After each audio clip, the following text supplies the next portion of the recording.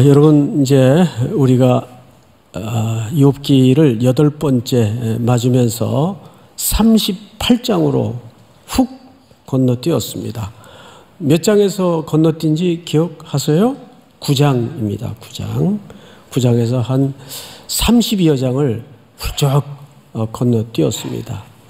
그래도 어, 그 32여 장 가운데 어떤 스토리, 스토리들이 있었는가 우리가 좀 어, 이해를 하고 넘어갈 필요가 있겠죠. 첫째는 첫째는 그 유명한 세 친구의 그 무료한 어, 공방이 계속 어, 피로감을 더합니다. 그래서 자동차로 비유하자면 공회전 하듯이 어, 제자리 걸음을 하는 그러면서 아주 가혹한 언어로 욥을 향해서 공격하는 그런 내용들로 구성이 되어 있어요. 그러다가 32장에서 37장까지 엘리후라는 인물이 등장을 해요. 그 앞에 세 친구는 이름 기억 혹시 하십니까? 엘리바스, 빌닷, 소발입니다. 그런데 32장서부터는 엘리후라는 인물이 등장을 하는데 뭐 별로 큰 차이가 없어요. 이 친구는 어, 특별히 양비론자입니다. 너도 틀렸고 너도 틀렸다라는데 또 논조를 끌고 갑니다. 그렇게 어, 아무 결론이 없는 친구들의 공방이 37장까지 빼곡히 메워져 있죠. 그리고 이제 38장에 와서 38장으로 들어가기 전에 우리가 지난주 욥의 두 가지 기도라는 주제로 말씀을 나누었어요. 기억 나시죠? 기억하시죠? 그러니까 첫 번째 기도 제목이 뭐였는가 하면 표면적으로는 하나님 내게 끊임없이 덮쳐오는 이 고난과 환란을 좀 멈춰 주십시오. 근데 단순히 그것이 아프고 고통스러워서 그런 기도를 드렸던 것이 아니고 사람들의 시선이 뭐였는가 하면 저 사람 저렇게 고난이 끊이지 않는 걸로 보아서 틀림없이 하나님께 징벌을 받거나 끊어진 존재야. 욥이 그게 가장 두려웠어요. 정말 저 사람들의 고발처럼 나는 하나님께 혹 끊어진 존재는 아닐까? 버림, 버려진 존재는 아닐까? 이것이 욥의 큰 감추어진 두려움이었어요. 두 번째 기도 제목이 뭐냐면 너무 답답한 거예요. 이렇게 절교하고 흑암 속에서 뒹구는데도 수많은 언어로 질문을 퍼붓는데도 하나님은 아무 사인이 없어요. 그래서 두 번째 기도 제목이 하나님 대화 좀 합시다. 어째서 하는 겁니까? 사인도 없고 대답도 없고 정말 나는 버려진 존재인가요? 그래서 소통 좀 합시다. 이게 두 번째 기도 제목이었어요. 그런데 정말 그 기도 응답이 이루어진 걸까요? 오늘 38장에서는 욥이 드디어 하나님을 대면하게 됩니다. 하나님이 욥에게 찾아오시는데 1절을 한번 볼까요? 38장 1절 그때에 여호와께서 폭풍 가운데에서 욥에게 말씀하여 이르시되 자 여러분 어, 어디 가운데서 말씀으로 임하셨죠? 폭풍우입니다. 그래서 오늘 말씀의 제목이 뭐예요? 폭풍우 속에 하나님의 질문이에요. 오늘 사실 중요한 주제는 폭풍우입니다. 왜 하필 그냥 임재하시거나 그냥 나타나시지 폭풍우 속에서 하나님이 욥에게 질문을 하셨을까? 이 폭풍은 오늘 아주 중요한 주제입니다.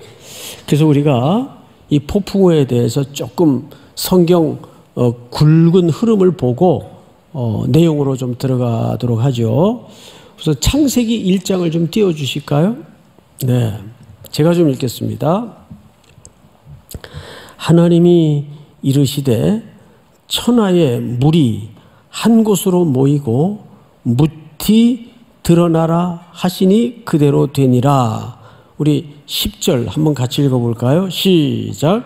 하나님이 물을 땅이라 부르시고 모인 물을 바다라 부르시니 하나님이 보시기에 좋았더라. 네. 어,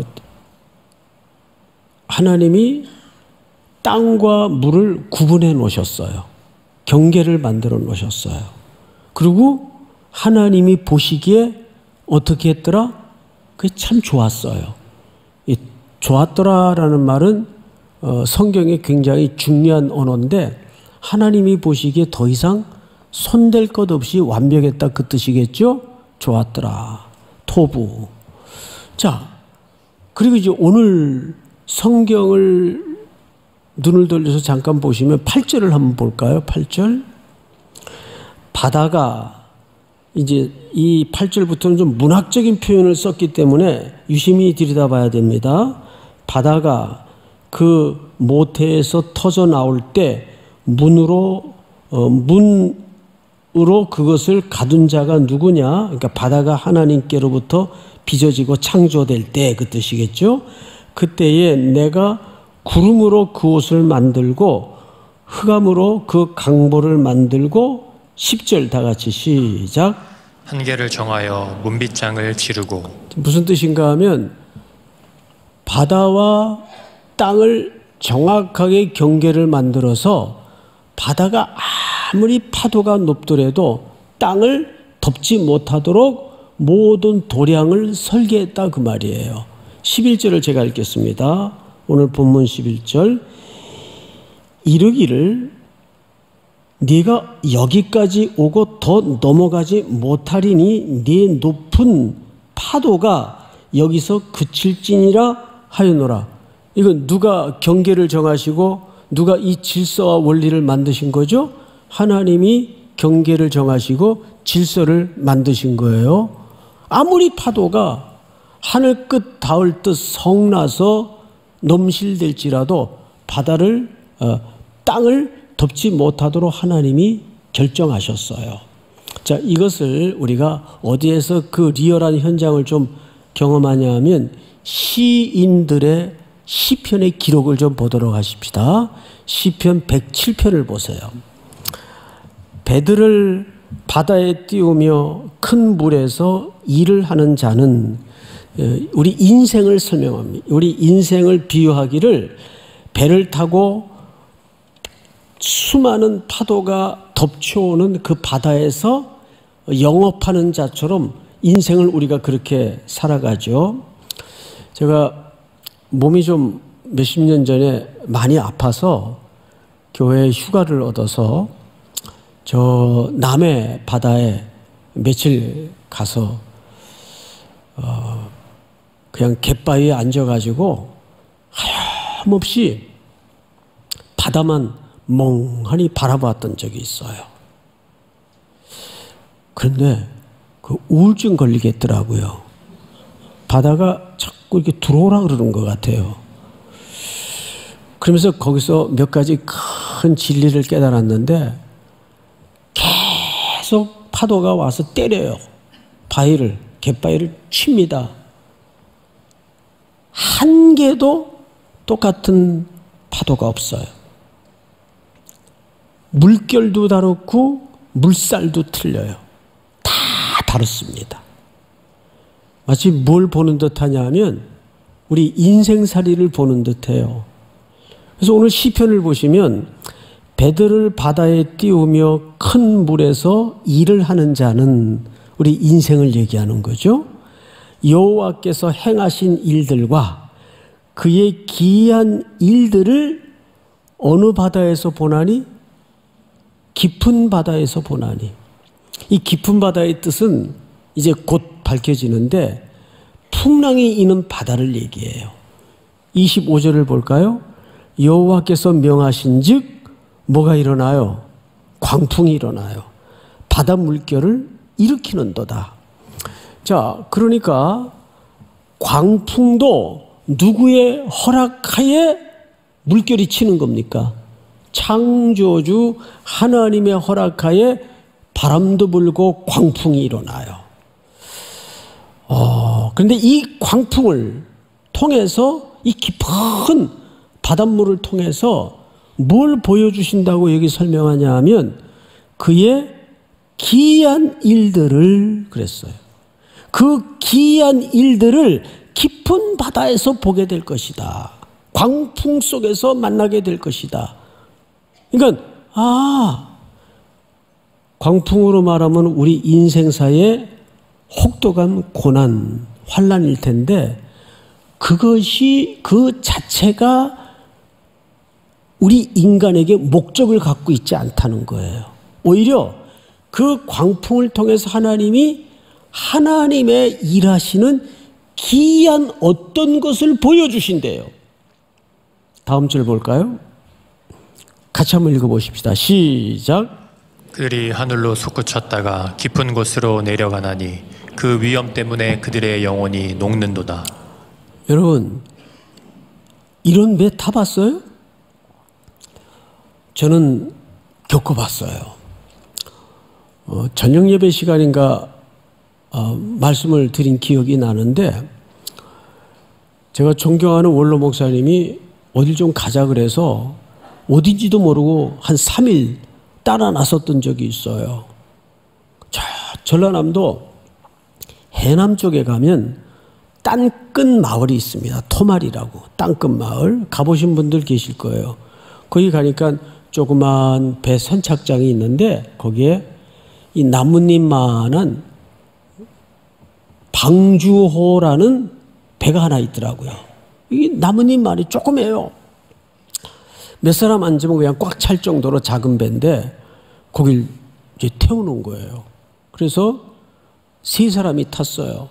그 원로 목사님 또 배 선장, 선장님도 목사님이에요. 그리고 저. 배가 출발할 때는 정말 거울 위를 미끄러지듯이 아주 바다가 평온하고 햇살이 찬란했습니다. 근데 바다가 그 이상하대요. 한 15분쯤 어, 바다로 갔나요? 갑자기 하늘을 보니까 오둑오둑해지면서 어디서 몰려왔는지 목장 구름이 몰려오더니 바람이 불어요. 바람이 그 구름을 몰고 온 거겠죠. 그러면서 후두둑 후두둑 비가 때리기 시작하는데 비방울이 장난이 아니에요. 그러면서 바람이 세차게 불기 시작하는데 파도가 쳐요. 파도가 이렇게 쳐요. 근데 배가 파도 끝에 이렇게 씁니다. 옆으로. 이런 배 타봤어요? 안 타봤으면 얘기를 하지 마세요. 어, 저는 안 그래도 물을 무서워하는데 정말 아 이렇게 죽는구나 싶어서 얼굴이 하얗게 질려 있는데 그 백기를 수없이 오고 갔던 선장님과 원로 목사님도 이 사태가 심각한 걸 알고 원로 목사님이 선장님한테 선장 그 엔진 끄게. 그래서 놀래가지고 목사님 엔진을 끄면 어떡합니까? 그런데 이럴 때는 동력 하나를 꺼야 동력이 파도라는 동력이 있고 배에 엔진이라는 동력이 있으면 이게 잘못 부딪히면 배가 뒤집어질 확률이 높다는 거예요. 그 엔진을 끄라 그러더라고요. 그 처음 알았어요. 또 그때. 그래서 선장님이 엔진을 탁 꺼요. 그럼 절 보고는 배 밑에 들어가 있으래요. 배 밑바닥에. 그래서 졸지에 요나가 돼가지고 거기 엎드려서 그냥 살려달라고 기도밖에 안 나오더라고요. 그렇게 한 20분을 배가 파도 끝에 올라갔다가 바닷속으로 들어갔다가 이렇게 춤을 추는데 마석도라는 섬에 겨우 도착을 했어요. 그래서 알지도 못하는 남의 집 텐마루에 그냥 누워가지고 한 3시간을 정신이 나가서 그냥 멍하니 혼절을 했던 적이 있어요. 근데 제가 이 시편 107편을 읽으면 그때 그 풍랑 만났던 생각이 어제 일처럼 너무 선명하게 기억이 떠오르는 겁니다. 그 26절을 잘 보세요. 그들이 하늘로 솟구쳤다가 깊은 곳으로 내려가나니 그 위험 때문에 그들의 영혼이 녹는도다. 바로 그 순간이에요, 이게. 그 다음 절을 한번 읽어 보십시다. 시작. 그들이 이리저리 구르며 취한 자 같이 비틀거리니 그들의 모든 지각이 혼돈 속에 빠지는도다. 그렇잖아요. 우리도 나이가 젊든 많든 나이와 상관없이 살면서 나, 나는 왜, 왜 이럴까? 내 인생은 왜 이렇게 안 되는 걸까? 계속 어려움이 봉착하고 이 문제 치워지면 더 큰 놈이 달려들고 그게 인생이란 말이에요. 그래서 우리의 지각을 혼미케 만드는 일들이 여러분의 그 격렬한 청춘의 날에 얼마나 많습니까? 다음 절 보십시다. 이에 그들이 그들의 고통 때문에 여호와께 부르짖음에 그가 그들의 고통에서 그들을 인도하여 내시고 광풍을 어떻게 하사 고요하게 하사 물결도 잔잔하게 하시는도다. 자, 그러니까 광풍을 멎게 해서 다시 예전과 같은 고요한 바다로 만드시는 분도 누구세요? 하나님이란 말이에요. 자, 그러면 우리는 인생을 살아갈 때 어떤 때는 광풍을 만나요. 그런데 또 어떤 때는 하나님의 은혜로 그 광풍이 언제 그런 일이 있었지 할 정도로 평온해집니다. 그래서 우리는 광풍이 없어야 되고 우리의 목적이 평안해야 된다는데 몰두될 수가 있습니다. 그런데 이것이 우리에게 허락하시는 하나님의 궁극적인 목적지가 아니에요. 제가 언젠가 여러분들에게 로안 윌리엄스의 글을 인용하면서 이런 어, 말씀을 드렸어요. 신앙생활의 목적지는 행복이어서는 위험하다. 무엇이 돼야 된다 그랬죠? 거룩이라 그랬어요. 이제 그 이유를 끝 무렵에 제가 다시 한번 설명을 드리겠지만 수, 가치에는 목적적 가치가 있고 수단적 가치가 있어요. 자, 우리가 예수님을 사랑하는 게 목적이에요. 근데 그 예수님을 사랑하기 위해서 노력하고 몰두하고 애쓰다 보면 뭐는 쫓아오는 거죠? 행복은 자연적으로 쫓아오게 돼 있어요. 그래서 이 행복은 궁극적 가치가 아니라 수단적 가치입니다. 그럼 우리의 궁극적 가치는 뭘까요? 거룩이에요. 자, 그 얘기는 조금 후에 미뤄두기로 하고 하나님이 때로는 우리 인생을 욥처럼 파도 끝에 올려놓습니다. 그러다가 곤두박질을 치게 합니다. 그러면 이리 구르고 저리 구르면서 이 시인의 고백처럼 정신이 혼미해져요. 그러다가 또 어떤 때는 거울 위를 미끄러지는 것처럼 바다가 조용하고 평안하고 고요해집니다. 과연 이 양자 사이에 때로는 평안을 주시고 때로는 고통을 주시고 이 양자 사이에 하나님이 의도하는 것은 너희들 내 말 안 들으면 까불면 국물도 없어. 이거 경험시키고 이거 가르쳐 주시기 위해서 그러시는 걸까요? 마치 격투기 선수가 초등학생 안발을 걸어가지고 어, 너 그래도 입 나불거리고 까불래? 이러는 식일까요? 여러분, 우리를 그런 교훈적 차원에서 이런 재난을 주셨다면 그냥 굳이 하나님이 직접 이렇게 안 나타나시고 천사, 천군 몇 사람 풀어서 저 청파동에 저 송택은 손좀 봐라. 더 이상 떠들지 못하게. 그래도 충분히 가능해요. 예? 그런데 오늘 그 절규하던 요백에 하나님이 그것도 직접 나타나셨어요. 그 이게 무슨 뜻일까요? 하나님은 저와 여러분들을 그분의 동등한 파트너로 대우하고 계신다는 걸 놓쳐서는 안 됩니다. 자, 폭풍우와 평안 사이에 뒹굴게 만드는 인생을 통해서 하나님이 진짜, 진짜 원하시는 것이 뭐냐 하면 여러분, 시편 107편 30, 어, 43절을 보십시다. 43절. 지혜 있는 자들은 이러한 일들을 지켜보고 여호와의 뭐를 깨달으리로다? 인자하심. 인자가 뭐죠? 헤세드. 하나님의 사랑을 얘기하는 거예요. 아까 우리가 마저 그 못 본 시편 107편 24절을 다시 한번 보십시다. 여호와께서 행하신 일들과 그의 기이한 일들을 깊은 바다에서 보나니 여기서 말하는 기이한 일이 뭐예요? 바로 하나님의 인자를 얘기하는 거예요. 다음 절을 한번 볼까요? 25절. 배들을 어, 여호와께서 명령하신즉 광풍이 일어나 바다 물결을 일으키는도다. 다음 절. 그들이 하늘로 솟구쳤다가 깊은 곳으로 내려가나니 그 위험 때문에 그들의 영혼이 녹는도다. 우리 다 같이 시작. 그들이 이리저리 구르며 취한 자 같이 비틀거리니 그들의 모든 지각이 혼돈 속에 빠지는도다. 28절.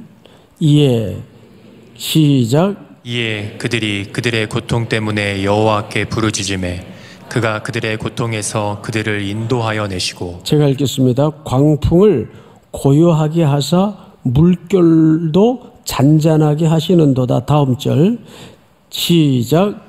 그들이 평온함으로 말미암아 기뻐하는 중에 여호와께서 그들이 바라는 항구로 인도하시는도다.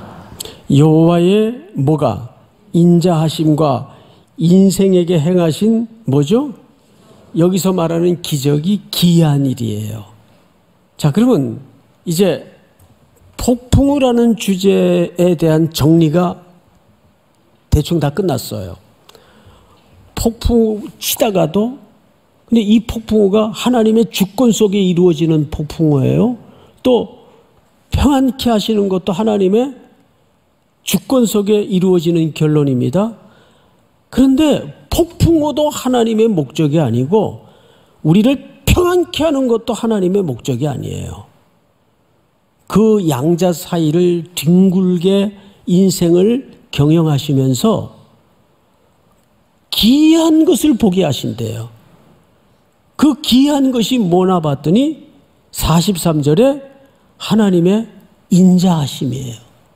자, 그래서 우리 오늘 본문 이제 드디어 하나님이 요백의 첫 마디가 뭔가를 주목해 보세요. 2절 제가 읽겠습니다. 무지한 말로 생각을 어둡게 하는 자가 누구냐? 여기 무지한 말로라는 말은 욥을 포함한 전 인생과 친구들을 묶어서 지칭하는 표현이에요. 무지한 말로 근데 뭐를 어둡게 한대요? 생각을 이거 누구 생각일까요? 하나님의 생각입니다. 여기서는 사람들의 생각을 얘기하는 게 아니라 하나님의 생각, 이 생각이라는 말이 애차라는 말을 썼어요. 애차. 이 말은 히브리 말로 무슨 뜻인가 하면 도모, 계획, 숙고 끝의 어떤 결정 이런 뜻이에요. 도모, 계획, 숙고 끝의 어떤 결정. 그러니까 누가 하나님이 하나님이 어떤 때는 우리에게 폭풍우를 허락하시고 어떤 때는 그 폭풍우를 파도야 잠잠하라 명하셔서 고요한 거울처럼 만들어 놓으세요. 그래서 우리는 살면서 아, 요것만 좀 치워지면 숨을 쉬고 살겠는데 아, 이것만 좀 해결이 되면 좀 숨을 쉬고 살겠는데 그 문제에 빠져서 문제를 치워내기에만 몰두하거나 급급할 때가 있어요. 여러분, 그런데 그 담벼락과 문제를 뛰어넘어서 뭘 봐야 된다는 거예요? 간단해요. 하나님의 기이한 일을 봐야 된다는 거예요. 근데 그 기이한 일이 뭔가 봤더니 하나님의 인자하심이에요. 여러분, 제가 이 설교를 준비하면서 오래된 시, 시 하나를 제가 기억이 어, 나더라고요. 또 하나는 오래전에 여러 차례 봤던 애니메이션 영화 한 편이 기억이 나요. 어, 시는 뭐 어떤 시인가 하면 여러분 유치환 씨라는 분 아시죠? 청마 유치환 이분이 쓴 유명한 시 중에 그 그리움이라는 시가 있어요.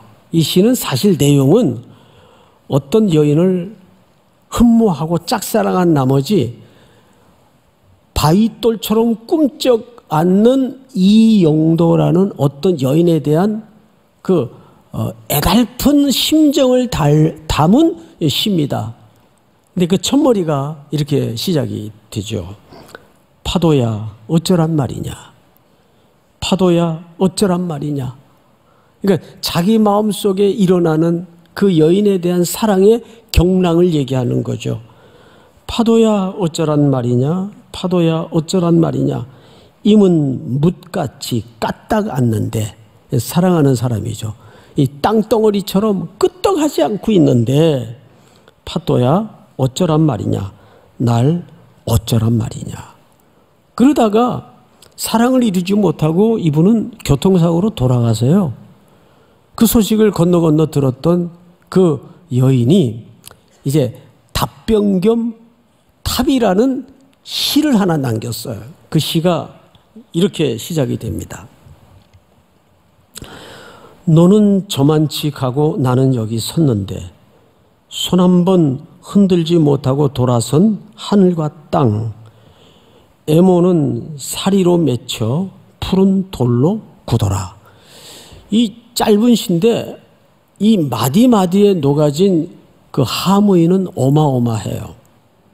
그러니까 결국 이루지 못하고 둘 사이는 끝났지만 마치 우리 인생이 이 사랑이라는 주제를 빼고 우리 삶의 모든 절절함을 거기에 대입시켜 보면 그래서 인생이라는 건 이런 녹두리처럼 들려집니다. 파도야 어쩌란 말이냐. 그러다가 그 파도와 파도 사이에 뒹구는 인생들이 하나님의 해답서를 성경을 보니까 우리의 시선을 기한 대로 돌리기 위한 그러면서 제가 퍼뜩 머릿속에 떠올랐던 애니메이션이 뭐냐 하면 그 짧게 끊어진 영상인데 여러분 잘 아실 거예요. 한번 볼까요? 조름도 올 시간인데 한번 보십시다. I'll go now. No! What? What? How. How are you doing that? It's a magic carpet. It's lovely. You, uh. You don't want to go for a ride, do you? We could get out of the palace, see the world. Is it safe? Sure, do you trust me? What? Do you trust me? Yes.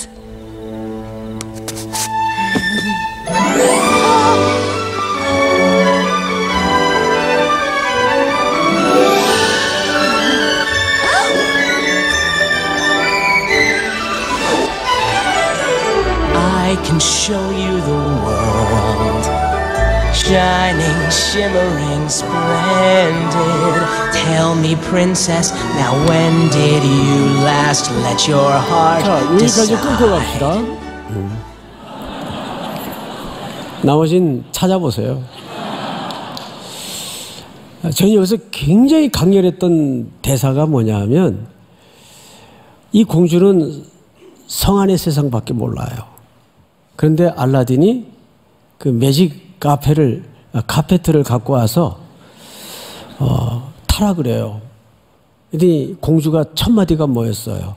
안전한가요? 물었죠. 근데 사실 그 질문에 대답을 하지 않고 알라딘은 나를 믿나요? 당신을 믿습니다. 그리고 카펫에 올라타서 신천지를 경험하게 됩니다. 진짜. new world. 어? 아, 이게 신천지라는 말이 참 좋은 말인데 이상한 사람들이 먼저 차용하는 바람에 이게 참 불편한 표현이 됐지만 어, 여기에서 우리가 어, 그냥 웃고 넘어갈 게 아니라 하나님이 그 폭풍 같은 고난과 평온 사이에 우리를 뒹굴면 누구나 경험해요. 그런데 그 자체가 목적이 있질 않고 우리를 new world 신세계 아, 이것도 광고가 될까봐 좀 조심스럽긴 한데 새로운 세계를 보여주는 거예요. 기이한 일 뭘까요? 시편 107편 43절에 보면 그 부분을 다시 한번 유심히 보세요. 자막을 좀 띄워주세요. 지혜 있는 자들은 이러한 일들을 지켜보고 여호와의 뭘 깨달으리로다 인자 헤세드 하나님의 헤세드가 가장 절정에 나타난 현장은 결국 십자가입니다. 믿습니까? 십자가예요. 온 세상을 캄캄하게 만드셔서 차마 아들이 그 십자가에 우리의 죄를 대속하기 위해서 고난을 받고 순종하시는 모습을 볼 수가 없어서 아들을 향하여 등을 돌리신 하나님 아버지. 그 아들은 그 아버지의 등 뒤에서 절규하셨습니다. 나의 하나님이요, 나의 하나님이요, 어찌하여 나를 버리십니까? 등 돌린 아버지는 그 눈을 구원의 대상인 우리를 향하여 마주해 주셨어요. 여러분, 이 이상 하나님의 자비를 설명할 현장이 있을까요? 인생은 꼭 직선적인 해답으로 결론되어지지 않는 오묘한 것들이 너무 많아요. 그런데 친구놈들은 지금까지 뭐라고 욥을 공격했나요? 너 지금이라도 회개해. 까닭없이 하나님이 그런 재난 주시지 않아. 지금이라도 회개하면 네 모든 잃었던 것들이 되돌려주고 회복이 될 거야. 다분히 권선징악적인 율법적인 잣대로 친구를 매몰차게 공격했어요. 근데 하나님은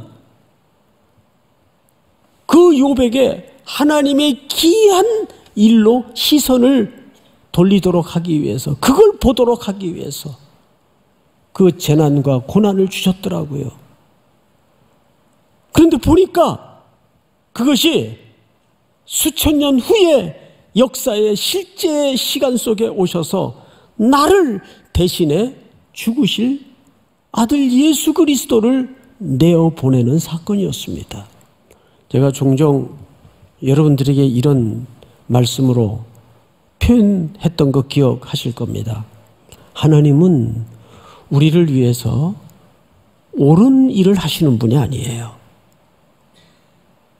그분이 하시는 일이 언제나 옳아요. 자, 근데 우리는 이 과정에 얹어져 있으면, 아니, 내 자식이 태어나면서부터 병치레만 하다가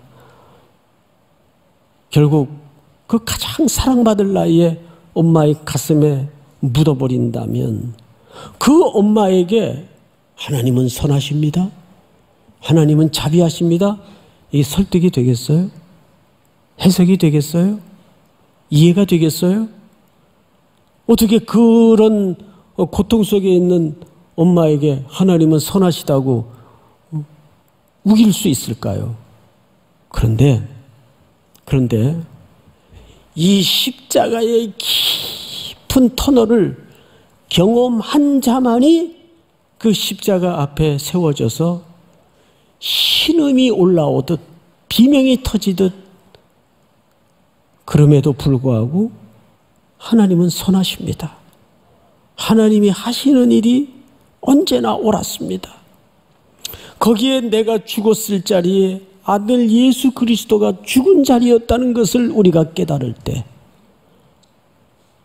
그 제가 그런 말씀을 드렸어요. 여러분들에게 나이가 든다고 철이 드는 게 아니에요. 십자가 만날 때 인간은 제대로 철이 듭니다. 그래서 여러분 겸손하려고 애쓰지 마세요. 인간은 겸손해지지 않습니다. 언제 겸손의 모양을 낼 수 있는가 하면 어느 원로 목사님이 그런 얘기를 해요. 그냥 곤두박질 쳐져서 자기의 본연의 형체는 옷대간 데 없이 너덜너덜해져 가지고 아 세상에 내가 입 열어서 욕할 사람이 아무도 없구나. 다 나보다 훌륭한 사람들이구나. 이 고백이 가능해질 때 겸손의 흉내라도 낼 수 있다 그래요. 정말 그렇습니다. 언젠가 한번 제 학교 선배님이 저 신학대학원, 큰 신학대학원 교수님이신데 대학원 원장까지 지내신 분이에요. 무슨 일로 저희 교회에 오셔서 제 방에 들어오시면서 그냥 문맥도 없이 다짜고짜 송 목사님 이 성화라는 게 있는 겁니까? 그래요. 뭐 힘든 일이 있었나 봐요. 이 신학대학 교수님이 이걸 나한테 물어보면 어떻게 해요? 그랬더니 에이 그러면서 이제 자기 볼일 보고 가셨어요. 근데 저는 그 질문이 계속 묵직하게 남는 거죠. 성화라는 게 성경이 말하니까 있긴 있겠지. 근데 내가 혹 성화를 잘못 이해하고 있는 건 아닐까. 그러면서 새로운 성화에 대한 정의를 내리지 않을 수가 없었어요. 물론 우리가 인격적인 수양을 하고 성품을 계속 그리스도의 성품을 닮아가는 노력을 한다면 사람은 조금 달라질 수 있겠죠. 그것도 성화의 한 일면인 것은 맞습니다. 그런데 성화의 출발 지점은 십자가 앞에 세워질 때입니다. 내가 어떤 사건, 어떤 사람 앞에서도 완전히 부서져서 소리도 못 내고 면목 없이 십자가 앞에 세워져서 주님의 흘리신 보혈의 공로가 아니면 제가 설 수도 없고 한 호흡도 내뱉을 수가 없습니다. 주님. 그래서 매일 전전긍긍하면서 십자가의 보혈과 공로를 붙잡는 그 태도가 성화의 출발 지점이에요. 그게 어디에 나타났어요? 십자가. 그것이 하나님의 기이한 일입니다. 결국 모든 인류의 소망은 십자가를 바라보게 하는데 인류의 소망을 두신 거예요. 믿습니까? 오늘도 여러분들에게 또 한 주의 고단한 삶이 이어지겠지만 우리의 흔들릴 수 없는 기초, 뿌리는 십자가의 내절을 대신해서 피 흘려 대속의 죽음을 죽으신 그 예수님이 내가 서 있을 뿌리요, 기초요, 출발 지점임을 기억하고 담대하게 그 보혈의 공로를 의지해서 또 한 주를 살아낼 수 있는, 이겨낼 수 있는 여러분들이 될 수 있기를 주님 이름으로 축원하고 축복합니다.